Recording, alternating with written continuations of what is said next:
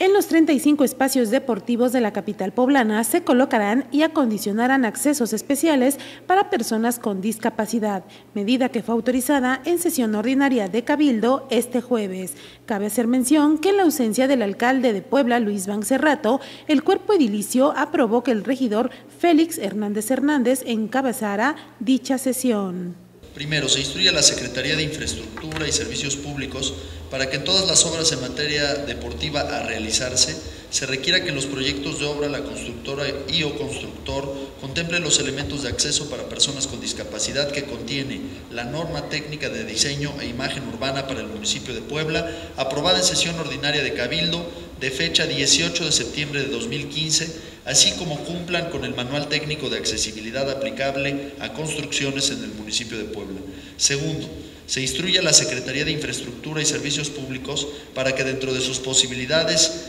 lleve a cabo las adecuaciones y obras mínimas de accesibilidad a los 35 espacios deportivos que tiene el Instituto Municipal del Deporte bajo su administración, guardia, guarda y custodia, observando en todo momento lo establecido por los ordenamientos legales mencionado en el punto resolutivo inmediato anterior, debiendo informar los resultados ante la Comisión de Juventud y Deporte de este honorable ayuntamiento. Tercero, se instruye a la Secretaría del Ayuntamiento para que en el ámbito de sus facultades y atribuciones realice los trámites necesarios para dar a conocer el presente punto de acuerdo para su debido cumplimiento.